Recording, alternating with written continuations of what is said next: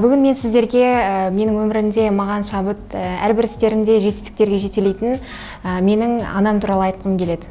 Осы менің спорттағы әрбір жетістігімнің түрткі есебінде мен анамды айта аламын. Себебі кішкентай кезінде осы алғаш рет спортқа келген кезде болашақта чемпион боласың деген үмітті осы анам сыйлаған болады. Әрбір кезеңде өзімді анамды еске алып отырамын.